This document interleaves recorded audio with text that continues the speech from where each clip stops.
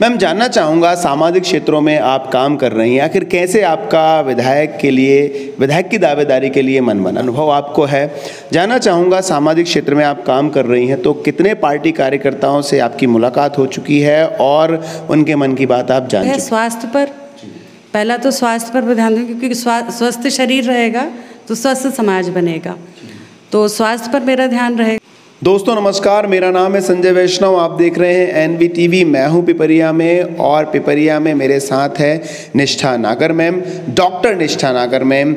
आप पिछले 12 वर्षों से पिपरिया में चिकित्सा के क्षेत्र में कार्य कर रही हैं। सामाजिक क्षेत्रों में आप निशुल्क चिकित्सा सेवा दे रही हैं। तमाम जो सामाजिक संगठन हैं, उनमें भी आपका योगदान रहता है। और इस बार के विधानसभा चुनाव में आप भारतीय जनता पार्टी की ओर से विधायक के लिए दावेदारी पेश कर रही हैं। आज की इस चर्चा में हम मैम से सवाल पूछेंगे। मैम से जानना चाहेंगे कि आखिर वो किस उद्देश्य से दावेदारी पेश कर रही हैं। क्या कुछ उनका मोटो है क्या कुछ उनका उद्देश्य है और किस योजना से वो चुनाव में उतरेंगी दावेदारी पेश कर रही हैं। मैम सबसे पहले आपका बहुत बहुत स्वागत है एन में। धन्यवाद आपका। आ, बहुत अच्छा लगा कि आप यहाँ पर आए। और डायरेक्ट मुझसे मेरे विचार पूछना चाहा आपने क्योंकि प्रायः ये होता है कि जो बाहर सुनी सुनाई बातें होती हैं उस पर ही लोग चर्चा करने लगते हैं और आप उसका स्पष्टीकरण नहीं दे सकते। आप सुनते रहते हैं सोशल मीडिया आजकल लाइफ में सबकी लाइफ में सोशल मीडिया इतना ज़्यादा एंटर कर चुका है कि सोशल मीडिया पे भी हम देखते हैं बहुत सारी चीज़ें होती हैं। सही भी होती हैं गलत भी होती हैं लेकिन आप उस पर आप अपना स्पष्टीकरण नहीं दे सकते। तो ये बहुत अच्छा लगा मुझे भी कि आप यहाँ आए और मुझसे डायरेक्ट बात कर रहे हैं। तो कुछ चीज़ें हैं जो मैं अपनी तरफ़ से कहना चाहती हूँ तो पब्लिक में एक साथ पहुँच जाएँगी। मैम जानना चाहूँगा सामाजिक क्षेत्रों में आप काम कर रही हैं आखिर कैसे आपका विधायक के लिए विधायक की दावेदारी के लिए मन बना? विधायक की दावेदारी के लिए मन तो क्या आ, काम करते करते ही बना। मैं कैंप्स लगा रही थी कैंप्स लगाए लोगों ने देखा कुछ संभावना है कि मैडम बहुत अच्छा काम कर रही हैं तो बड़े प्लेटफॉर्म पे बहुत अच्छा काम करेंगी। क्योंकि जो सीमित संसाधनों में काम किया उसको देख के जनता ने भी ये अंदाज़ा लगाया कि अगर बड़ा प्लेटफॉर्म मैडम को मिलता है तो वो बहुत अच्छे तरीके से काम करेंगी। और बड़े प्लेटफॉर्म पे बड़ा काम हो जाएगा। आप शिक्षित हैं, आप अनुभव आपको है। जानना चाहूँगा, सामाजिक क्षेत्र में आप काम कर रही हैं तो कितने पार्टी कार्यकर्ताओं से आपकी मुलाकात हो चुकी है और उनके मन की बात आप जान चुकी हैं? कितनों का आपको समर्थन मिल रहा है? लगभग सभी पार्टी कार्यकर्ताओं से मेरा मिलना हो गया है। कुछ कुछ कुछ ग्राम ऐसे रह गए हैं, जहाँ पे कांटेक्ट नहीं हो पाया, मिल नहीं पाई जिनसे। बाकी प्राय प्राय नाइन्टी परसेंट कार्यकर्ताओं से मैं मिल चुकी हूँ। और सबका बहुत अच्छा रिस्पांस भी है। सबका यही सोचना है कि कोई शिक्षित आएगा तो कुछ बेहतर विकास हो सकता है। और दूसरा ये, मैं इस क्षेत्र के लिए नई तो हूँ नहीं। तो हर क्षेत्र के लोग जानते हैं तो कार्यकर्ता बहुत सारे कार्यकर्ता वही हैं जो अपने यहाँ के डिलीवरी करा चुके हैं। तो एक बहुत अच्छा अनुभव होता है, जब आप उनसे मिलने जाते हो, घर से बच्चे आते हैं, अंदर से बाहर निकलते हैं आज जैसे गई थी तो ये आदित्य आपके यहाँ पर ही डिलीवरी हुई थी इसकी। तो बहुत अच्छा लगता है और एक पारिवारिक सा माहौल है। सभी कार्यकर्ताओं से मिले बिल्कुल घर जैसा लगता है और सबका समर्थन है। डॉक्टर के रूप में आपकी सेवाएँ ली आ, आपको प्यार दिया आ, समाज सेवा के क्षेत्र में आपका सहयोग उनको मिला। अब उम्मीद है कि यदि आप विधायक बनती हैं तो उनका प्यार और उनका जो वोट है वो आपको मिलेगा। हाँ मुझे पूरी उम्मीद है कि उनका प्यार आशीर्वाद सहयोग और वरिष्ठों का मार्गदर्शन सब कुछ मुझे मिलेगा। भारतीय जनता पार्टी में आप किस तरह की भूमिका अदा कर रही हैं?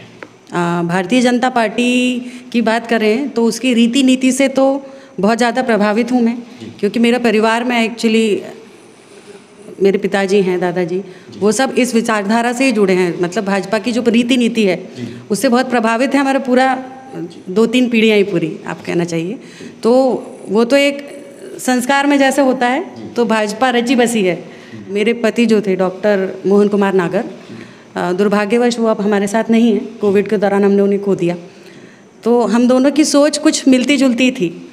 तो डॉक्टर साहब का और मेरा यही सोचना था कि हमने बहुत अच्छी डिग्री प्राप्त की है और इस डिग्री का उपयोग समाज के लिए करें। क्योंकि डॉक्टर साहब एनेस्थेटिस्ट थे मैं गायनेकोलॉजिस्ट तो बहुत अच्छा होता कि भोपाल में ही पढ़ाई पूरी करके भोपाल में ही कोई कॉरपोरेट हॉस्पिटल ज्वाइन करके रहते वहीं। लेकिन हम लोगों का ये सोचना था कि जो सौ डॉक्टर्स हैं सौ एनेस्थेटिस्ट सौ गायनेकोलॉजिस्ट सब है भोपाल में हम एड ऑन होंगे तो क्या प्लस वन हो जाएँगे? हंड्रेड प्लस वन तो वो हार्डली कोई डिफरेंस लाएगा। तो हमने ये सोचा कि हम एक ऐसे क्षेत्र को चुने अपने कार्य क्षेत्र के रूप में जो सुविधाविहीन हो और उसमें सुविधाएँ हम दे सकें। तो आज से 12-13 साल पहले की बात है। जब हम लोग इस क्षेत्र में आए थे तो यहाँ ऑपरेशन थिएटर चालू नहीं था। व्यवस्था थी। मतलब ऑपरेशन थिएटर सरकारी अस्पताल में भी व्यवस्था थी। सारे इंस्ट्रूमेंट्स थे। लेकिन यहाँ पे सर्जन और एनेस्थेटिस्ट नहीं थे। तो 12-13 साल पहले जब हम लोग आए यहाँ पर तो हम लोगों ने अपने अथक प्रयासों से उसको क्रियान्वित किया। ऑपरेशन थिएटर चालू किया और उसके बाद से निरंतर ये है कि आज तक यहाँ पे ऑपरेशन की व्यवस्था है जो प्रस्तुताएँ हैं वो अब परेशान नहीं होती यहाँ ऑपरेशन हो जाते हैं उनके। तो ये सेवा हमारी बारह तेरह साल से चल रही थी। हमने हॉस्पिटल भी यहाँ स्टार्ट किया था निजी अस्पताल। तो निजी अस्पताल भी एक चैरिटी हॉस्पिटल जैसा था उसमें हमारी प्रतिदिन निःशुल्क ओपीडी भी चलती थी। फ़ीस कुछ जो दे सकते उनकी फ़ीस तो लेते थे लेकिन जो नहीं अफोर्ड कर सकते उनको निःशुल्क ही हम परामर्श भी देते थे। तो ये प्रतिदिन का हमारा नियम था। और ये इस तरह से काम चल रहा था हमारा। समाज में हम सेवा इस तरह से दे रहे थे। और काफ़ी सारी संस्थाएँ हैं मतलब पिपरिया की आप बात करें तो पिपरिया में बहुत सारी सामाजिक संस्थाएँ हैं, सेवा सेवा भावना से जुड़ी हुई। तो अनेक संस्थाएँ हैं, उनके थ्रू भी हम लोग अपना गिलहरी मात्र सहयोग होता है, लेकिन वो भी हम देते थे। उसको बड़ा चढ़ा के बताने का मतलब नहीं, लेकिन हाँ वो गैलरी से सहयोग होता है। हमारा इतना बड़ा समाज है और इतना समय हम जो देते हैं, अभी मैं चवालीस वर्ष की हो गई हूँ। आज तक जो भी है, अभी तक जब तक पढ़ाई कर रहे थे, तब तक हमने समाज से लिया ही लिया है। मेडिकल एजुकेशन भी गवर्नमेंट मेडिकल कॉलेज में हुई तो वहाँ क्या होता है कि गवर्नमेंट की कितनी सारी फंड्स लग जाते हैं हम लोगों को पढ़ाने में। तो समाज से लिया ही लिया था। उसके बाद हमने ये सोचा कि अब हम समाज को लौटाएँ भी तो जितना बहुत भी हो सके। तो वो चीज़ें चल रही थी। तो और कोविड के दौरान थोड़ा सा परेशानी हो गई। आ, मैं और डॉक्टर साहब दोनों संक्रमित हो गए और डॉक्टर साहब दुर्भाग्यवश नहीं हैं हमारे साथ। तो उसके कारण क्या ऑपरेशन थिएटर तो मैं नहीं अकेले संचालित कर सकती एक एनेस्थेटिस्ट की ज़रूरत होती है।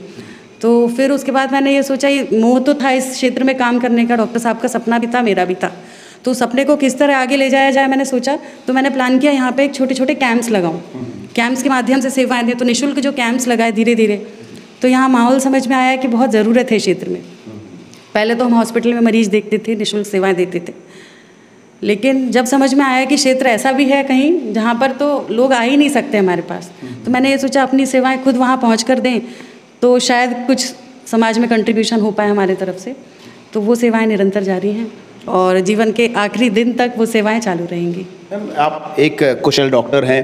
और आप एस्टेब्लिश हैं पिपरिया में। फिर अचानक से ये चुनाव लड़ने का और ख़ास तौर से बीजेपी यहाँ पर तीन पच्चीस वर्षीय से बीजेपी के विधायक हैं। वो अलग बात है कि इस बार थोड़ा सा एंटी इनकम्बेंसी चल रही है कार्य क्षेत्र जो उम्मीद थी वो हो नहीं पाया है। क्यों आखिर आपको लगा कि मुझे विधायक की दावेदारी करनी चाहिए? देखिए, ऐसा है, ये बहुत सिंपल सा है कि मैंने तो सिर्फ़ सिंपल कैंप लगाए थे, क्योंकि अटैचमेंट था और हमारा सपना था। तो वो सपने में किस तरह से कर पाऊँ तो मुझे एक कैंप माध्यम दिखा कि हम समाज को कुछ दे सकते हैं उसमें।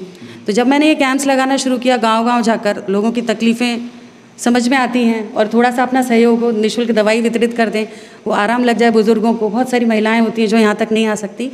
तो ये जब मैं करती गई तो मुझे ऐसा नहीं कि खुद ही सोचा। जनता में से खुद ही लोगों ने बोलना शुरू किया कि, मैडम, जब आप इतना अच्छा कार्य कर रहे हो तो क्यों नहीं इस कार्य को एक बड़े प्लेटफॉर्म से किया जाए? और एडिशनल ये था सपोर्टिव कि यहाँ की रिज़र्व सीट है। तो वो एक प्लस पॉइंट था कि मैडम रिज़र्व सीट है हम ऐसी कैटेगरी को बिलोंग करते हैं। तो वो एक था। तो लोगों ने ये कहा कि मैडम आप क्यों नहीं ट्राई करती? आपका जो सेवा भाव है आप अच्छा कर रहे हो। तो एक छोटे प्लेटफॉर्म से बड़ा प्लेटफॉर्म मिलेगा तो हम ज़्यादा अच्छे तरीके से बेहतर सेवाएँ उपलब्ध करा सकते हैं। तो ये जो लोगों का कहना था उस पर मैंने थोड़ा विचार किया। उसके बाद एकदम से ये विचार नहीं हुआ कि चुनाव लड़ना है। फिर उसके बाद मैंने खुद को एनालाइज किया। ये तब नहीं सोचा था मैंने कि मैं चुनाव लड़ूँगी या दावेदारी प्रस्तुत करूँगी। लेकिन काम करती गई और मैंने खुद को एसेस किया पहले। लोग पहले पूछते थे कि आप चुनाव लड़ रही हैं? तो मैंने कहा, नहीं, कोई चुनाव नहीं लड़ रही, मैं तो सेवा कर रही हूँ। जब मैंने खुद को देखा कि नहीं, मैं कर सकती हूँ। क्या है, आप सोच कुछ भी लें। कोई भी आदमी कुछ भी सोच सकता है। लेकिन ये सोचने के बाद उसको आप कर भी सकते हैं। आपकी कैपेसिटी है, आप उतने एफर्ट्स लगा सकते हो कि नहीं, वो सेल्फ असेसमेंट ज़रूरी होता है। तो जब मुझे ये असेस हो गया कि ये मैं कर सकती हूँ, ये काफ़ी महीनों के बाद जब समझ में आया तो फिर मैंने इस दिशा में भी सोचना चालू किया कि जनसंपर्क और सोशल एक्टिविटीज़ में भी पार्टिसिपेट करना शुरू किया। अदरवाइज़ तो ये कैंप सिंपल कैंप्स थे सेवा के हिसाब से। तो अब मुझे एक बड़ा प्लेटफॉर्म मिल सकता है और मैं इतना दे सकती हूँ समाज को। जब भी क्या होता है, एक फैमिली होती है। हॉस्पिटल भी चल रहा था, तब भी कर सकते थे आप कहेंगे। तो जब हॉस्पिटल चल रहा था, आपकी फैमिली है हॉस्पिटल है है ना, बच्चे हैं हस्बैंड है, सब देखना होता है, साथ में आप हॉस्पिटल संभाल रहे हैं।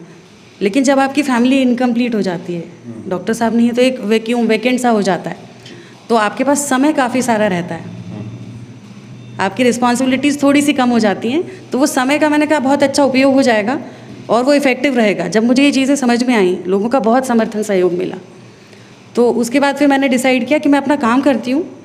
मैं प्रस्तुत करूँगी खुद को इस तरह। अगर संगठन को पार्टी को उचित लगेगा कि हाँ ये महिला कर सकती है तो बेहतरी के लिए तो वो निश्चित तौर पे चुनाव में रखेंगे कि इनको टिकट दिया जाए। बाकी मेरा ऐसा नहीं है कि मैं दावेदारी पेश कर रही हूँ। संगठन को लगना चाहिए और उनको लगेगा तो वो इस बार कहाँ पर कमी रह गई पिछले पंद्रह सालों से बीजेपी की गवर्नमेंट है? क्योंकि आपकी पार्टी ने कार्य करने के प्रयास ही बहुत किए लेकिन आपकी नज़र में कौन से क्षेत्र है जहाँ पर काम करना बाकी है और वो आवश्यक भी है? नहीं कौन से क्षेत्र में काम करना बाकी और आवश्यक है वाली बात नहीं होती। हर क्षेत्र में निरंतर काम होते रहना चाहिए। और ऐसा नहीं है कि अभी कुछ परेशानियाँ हैं इसलिए मैं आगे आ रही हूँ। क्या होता है परिवर्तन प्रकृति का नियम है आपने भी सुना होगा। तो वो तो निरंतर चलता रहता प्रोसेस है। हमारे विधायक जी की कार्यशैली अलग है, मेरी अलग है। उसमें गलत और सही वाली बात नहीं है। तो मेरा जो फोकस रहेगा इस बार वो है स्वास्थ्य पर। पहला तो स्वास्थ्य पर ध्यान दूँ क्योंकि स्वस्थ शरीर रहेगा तो स्वस्थ समाज बनेगा। तो स्वास्थ्य पर मेरा ध्यान रहेगा ज़्यादा थोड़ा सा स्वास्थ्य के बाद दूसरे नंबर पे जो चीज़ आती है वो शिक्षा। अगर एक शिक्षित क्षेत्र होगा तो वो खुद ही प्रगतिशील से डेवलप्ड बन जाएगा। है ना? डेवलपिंग से डेवलप बन जाएगा। तो ये एक ऐसे समाज के निर्माण के लिए स्वास्थ्य ज़रूरी है और शिक्षा। और दूसरा मैं यहाँ देखती हूँ कि नारी सशक्तिकरण के लिए मैं सोच रही हूँ कि मैं कुछ एफर्ट्स लगाऊँ। बात करूँ मैं समाज की तो के कहाँ पर आपको क्योंकि आपने कहा कि लोगों ने आपको मोटिवेट किया इंस्पायर किया तब आप इस दिशा में बढ़ रहे हैं दावेदारी कर रहे हैं। किन समाज का या किन लोगों का आपको समर्थन आपको उम्मीद है कि इनका मिल जाएगा? देखिए ऐसा किस समाज का प्रॉपर आप पूछ रहे हो कैटेगरी वाइज किन लोगों का मुख्यतः आपको समर्थन प्राप्त हो रहा है? कितने लोगों का समर्थन मिलने की उम्मीद है? देखिए मैं जहाँ तक क्षेत्र में गई हूँ अभी और मुझे समझ में आ रहा है तो मुझे किस समाज से समर्थन ज़्यादा मिलेगा कम मिलेगा जैसा नहीं है। सभी लोगों का बहुत अच्छा रिस्पांस है और सभी का समर्थन है मुझे। रोज़गार के लिए किस तरह के दरवाजे आप खोलेंगे? किस तरह से काम आपके रहेंगे?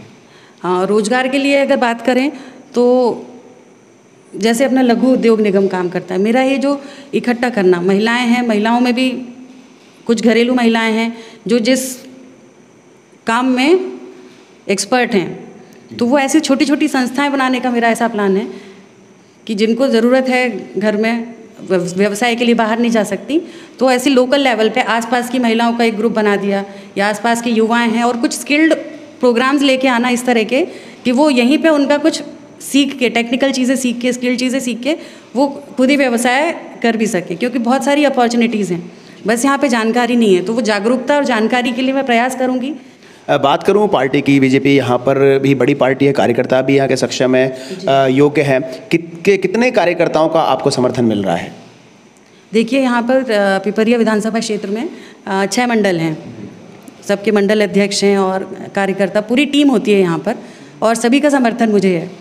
क्योंकि सभी चाहते भी हैं, क्योंकि सब एरिया मैंने घूम लिया है। छः मंडल में मैं गई हूँ, क्षेत्र में इसीलिए गई कि एक, आप तो चाह रहे हो आना, लेकिन भाई आपका क्षेत्र आपको चाह रहा है कि नहीं? ये पूरा परिवार जैसा ही है। और मुझे सब जगह बहुत पॉजिटिव साइंस मिले। पिपरिया में अभी दो धड़े बन गए हैं। एक धड़ा एक कार्यकर्ताओं का संगठन है ग्रुप है। सुनने में आ रहा है देखने में भी आ जाता है गाहे गाहे बगाहे कि वो अभी जो वर्तमान विधायक हैं उनके विरोध में हैं। इनकी एंटी इनकम्बेंसी यहाँ पर है इसमें कोई दो मत नहीं है। क्या जो रूठे हुए कार्यकर्ता हैं उनका भी समर्थन आपको मिल रहा है? देखिए ऐसा है कि पार्टी एक परिवार होती है और रूठे हुए हैं और अगेंस्ट में हैं। ये सब छोटी छोटी बातें हैं। सर्वोपरि सब पार्टी ही देखते हैं। तो ऐसा कुछ भी नहीं है कि उनका वो विरोध है कुछ। बस हाँ सोच अलग अलग हो सकती है इसके कारण है। बाकी ये क्षेत्र ऐसा है कि सब पार्टी कार्यकर्ता बहुत एकजुट हैं सब एक साथ ही रहेंगे और संगठन का निर्णय सर्वोपरि। आप किसी भी आप विधायक जी से जाके पूछ लें या जो आप सो कॉल्ड विरोधी कह रहे हैं उनसे जाके पूछ लें सबका यही जवाब होगा कि संगठन ने जो निर्णय लिया उसको फॉलो ज़रूर करेंगे। फ़िलहाल लेकिन वो चाह रहे हैं कि आपको समर्थन, वो फ़िलहाल वो चाह रहे हैं कि आपको से टिकट मिले। हाँ ये क्षेत्र में जो मैंने गई हूँ, क्षेत्र में तो मुझे ये लगा, सबका ये सोचना है कि एक शिक्षित महिला आएगी तो उनको ये सोचते कि कुछ बेहतर हो पाएगा, कि आप थोड़ा ज़्यादा सोच पा रहे हो तो कुछ बेहतरी के लिए कुछ प्रयास हो जाएँगे, और दूसरा थोड़ा परिवर्तन चाहता है, हर कहीं परिवर्तन की ज़रूरत लगती है। तो इस क्षेत्र में भी लोगों का शायद ये सोचना है कि परिवर्तन हो तो अच्छा होगा, और मैं अपना पूरा प्रयास भी करूँगी मैं पूरा हंड्रेड परसेंट भी देने की कोशिश करूँगी इस क्षेत्र के विकास के लिए क्योंकि ये तो डॉक्टर साहब और मेरा सपना था। अब डॉक्टर साहब अभी साथ ज़रूर नहीं हैं लेकिन ऊपर से तो वो भी सपोर्ट कर रहे हैं और देख रहे हैं। और शायद खुश भी हो रहे होंगे कि उनका जो सपना था उनके जाने के बाद भी उसी रास्ते पे चलते हुए पूरा करने की कोशिश कर रही हूँ। मैम जानना चाहूँगा अगर आपको पार्टी टिकट देती है तो आप जीत के लिए कितने कॉन्फिडेंट हैं? जीत के लिए तो मैं हंड्रेड परसेंट कॉन्फिडेंट हूँ। अगर मैं हंड्रेड परसेंट कॉन्फिडेंट नहीं होती तो मैं ये जो सीवी बनाया है ये मैं प्रस्तुत ही नहीं करती। प्रस्तुत इसलिए नहीं करती कि देखिए पार्टी सर्वोपरि है। मैं टिकट लेके विधायक बन रही हूँ नहीं बन रही हूँ ये इससे फ़र्क नहीं पड़ता। ये पार्टी बननी चाहिए। और संगठन को भी संगठन भी असेस करेगा। उचित लगेगा तो वो देंगे टिकट। तो मैं व्यक्तिगत लाभ के लिए यहाँ नहीं आई हूँ। ऐसा कुछ भी नहीं कि मेरा कोई व्यक्तिगत लाभ है इसके लिए आई हूँ। बस एक मानसिक शांति मुझे जो मिल रही है ये काम में और जो सपना था, उसको लेके चल रही हूँ। और ऊर्जा भरपूर है तो शायद कर भी पाऊँ, मौका मिलता है तो ज़रूर बिल्कुल कोशिश करूँगी कि ये प्रूव भी तो करना होगा जो आप भरोसा कर रही है जनता कि नहीं, उन्होंने जो भरोसा किया वो सही था। आपका अनुभव भी काफ़ी अच्छा है और पार्टी, आपने कहा कि भरपूर आपको समर्थन कार्यकर्ता दे रहे हैं, जो रूठे हुए उनका भी साथ मिल रहा है। जानना चाहूँगा, अगर बीजेपी से आपको टिकट नहीं मिलती है तो क्या आप निर्दलीय चुनाव लड़ने की इच्छा रखते हैं?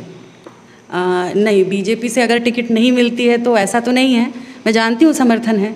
लेकिन ऐसा नहीं होता ना कि आपका एक परिवार है और परिवार में आप कुछ चाह रहे हो और आपके जो भी वरिष्ठ हैं उन्होंने वो नहीं दिया या नहीं दे पा रहे तो आप गुस्सा होकर घर तो नहीं छोड़ देते? तो ऐसा ही है। तो पार्टी का काम तो मैं करती रहूँगी। ये सेकेंडरी चीज़ है टिकट मिल रही है या नहीं मिल रही है? ये जो सेवा कार्य है ये पिपरिया मेरा परिवार है क्षेत्र है पार्टी भी परिवार है। तो ये परिवार में रह के ही परिवार की सेवा करना चाहूँगी। ऐसा तो कोई विचार नहीं है मेरा, क्योंकि मेरा ध्येय ये नहीं है कि मैं एम एल मेरा ध्येय सेवा का है। टिकट मिलती है तो मैं एक बड़े प्लेटफॉर्म पे बहुत अच्छे तरीके से सेवा कर सकती हूँ। अदरवाइज़ जो छोटे तरीके से जो मेरे से जो बन पड़ रहा है, उतना तो मैं अभी कर रही हूँ, वो तो चलता ही रहेगा।